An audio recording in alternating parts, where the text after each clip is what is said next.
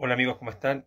Bueno, me he dado cuenta que está como de moda comentar qué es lo que estaba haciendo uno y cómo vivió uno el terremoto del 27F.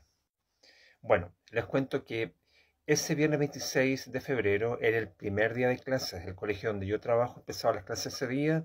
Los niños fueron, tuvimos clases normales, muy pocos niños fueron porque era día viernes, pero empezamos las clases de manera normal como todavía era verano, yo estaba comprometido con unos amigos para, ir a, tomar unos tragos. Y me acuerdo que, bueno, yo era más joven, pensé que tenía 14 años menos. Me fui al barrio Villavista con unos amigos, compartimos una cerveza, comimos unas papas fritas. Y posteriormente tampoco tenía auto yo en esa época. Me fui a los colectivos que estaban al lado del Plaza y me fui a mi casa. Llegué a mi casa tipo dos y media de la mañana. Bueno, llegué, saludé a mi familia. Eh, me tomé un café y me acosté. Me puse a el celular y tipo como 3.25 eh, ya apagé las luces y me propuse a dormir. En la pieza al lado teníamos como invitada a mi sobrina mayor y a mi sobrina menor. La mayor tenía en ese tiempo como 19 años y la menor tenía como 5 años.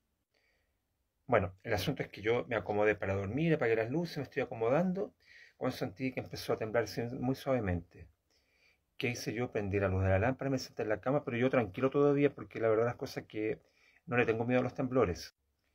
Y escuché que eh, mi sobrina desde la habitación de al lado, la mayor, me dice, tío, está temblando. Y yo le dije, ya tranquila, se va a pasar. Tío, pero sigue temblando. No se va a pasar. Ya cuando le dije por segunda vez va a pasar, me empecé a inquietar porque ya la tierra empezó más fuerte. De repente entró a mi habitación y me dijo, tío, no sé, porque me tenga que ver un terremoto, porque es muy largo y es muy fuerte. Ya así mejor bajemos al primer piso, le dije yo. Y el tema es que me puse las pantuflas, me fui a la, pieza de ella y le dije ya, vamos, vamos, salgamos mejor, le dije, vamos al primer piso.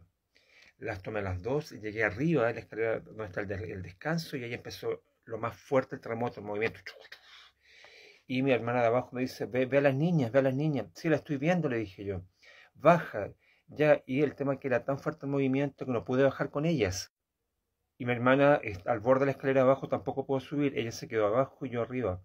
Fue muy fuerte porque yo empecé a sentir cómo se empezaron a caer cosas, cómo se empezaron a caer copas que habían en, un mueble, cómo se cayó un adorno, se cayó unos maceteros y se quebraron.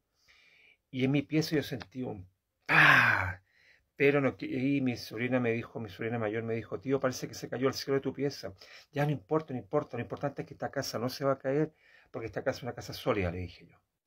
Y frente a nuestra vista, frente porque en mi caso una casa con techo en caída, entonces frente al descanso había una lámpara de lágrimas que se empezó a balancear, pero se balanceaba casi en 180 grados y los ventanales sonaban fuerte. Yo dije, estos ventanales se van a reventar.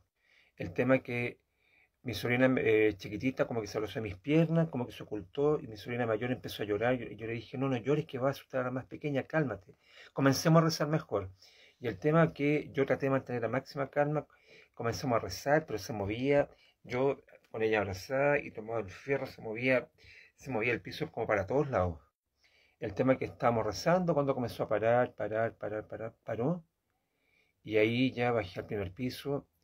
Eh, qué sé yo, eh, tomé una vela, me vine a mi pieza a buscar mi celular y cuando entré a, la pieza, a mi pieza, ese ruido fuerte que había era que yo tenía un estante, o sea, no, no un estante, un mueble eh, lleno de CD en esa época, de, libros, eh, varias cosas. El asunto es que el mueble hizo como una cosa como... y se cayó todo al piso, todo.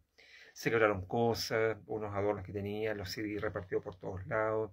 Quedó el desastre. Bueno, yo entre medio de las cosas fui, tomé mi celular, los audífonos para hacerla funcionar como radio, y bajé al primer piso y ahí nos quedamos toda la noche, tembló toda la noche.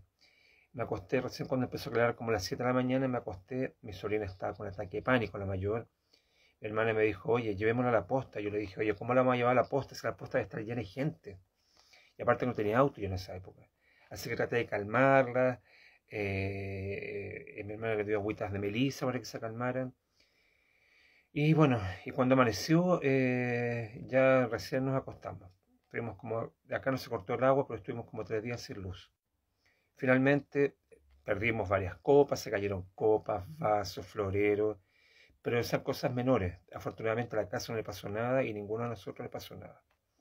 Así como viví el 27F.